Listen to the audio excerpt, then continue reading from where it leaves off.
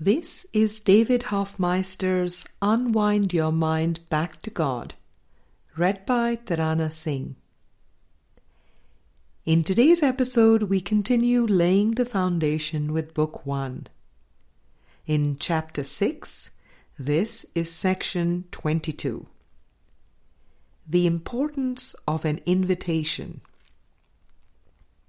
Friend, how do you deal with people who have all these beliefs about the body? It may be that they are taking lots of supplements or have certain types of diets or exercise regimes.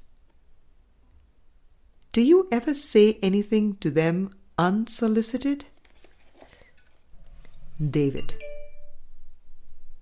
No, it is really upon invitation. Someone who is sincere about the mind training may say something like, Please help me out in any way that you can. Please point out anything that you see that could be helpful in releasing the ego. That is an open invitation. Even then, what would be shared is not so much an attempt to correct a brother, but rather just answering the call. When I travel, people around me may talk about dietary things, or they may seem to be addicted or trapped or enslaved by a number of things. I am there to join and to rejoice in the joy of the moment, and not to point things out. We have stayed with people who seem to be struggling in many areas, but are not actively asking for things to be pointed out. It has been a great experience for me. People will say, Oh, I so enjoyed your visit. And I just loved your being here. They appreciate the joy and the peace and the sense of non judgment.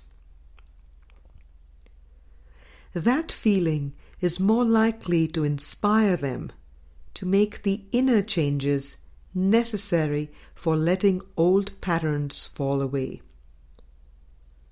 more so than being told to look at specific things.